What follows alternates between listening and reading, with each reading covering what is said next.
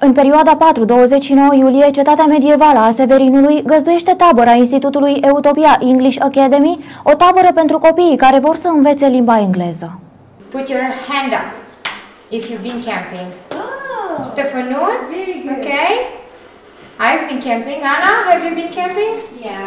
Yeah, okay. Yeah, And no, you no. haven't been camping, okay. Atelierele bilingve îi ajută pe cei mici printr-o metodă nouă, interactivă, să învețe limba engleză. Activități precum desenul sau lucrul manual, desfășurate sub ochii profesorilor de limba engleză, le dezvoltă celor mici cunoștințele într-o limbă străină. Utopia English Academy organizează ateliere pe toată perioada lunii iulie. Am început pe 4 iulie și vom termina pe 29 iulie. La fiecare atelier facem ceva diferit. Avem de luni până vineri, de la 10 la 12 și de la 14 la 16. Uh, Promovăm practic învățarea limbii engleze. Astăzi, de exemplu, ne-am gândit să aducem muntele aici, la cetatea medievală a Severinului și am făcut uh, un uh, foc 3D Uh, De asemenea, avem și artă și pictură, facem și actorie. În fiecare zi avem un atelier diferit și copiii de la 4 până la 14 ani se pot distra alături de noi pe toată perioada lunii iulie. Fără catedre și fără profesori formali, elevii vor prinde drag de limba engleză, învățând-o în joacă, iar părinții pot în același timp să desfășoare alte activități casnice sau pur și simplu să își ia o pauză binevenită, având în vedere temperaturile sezonului estival.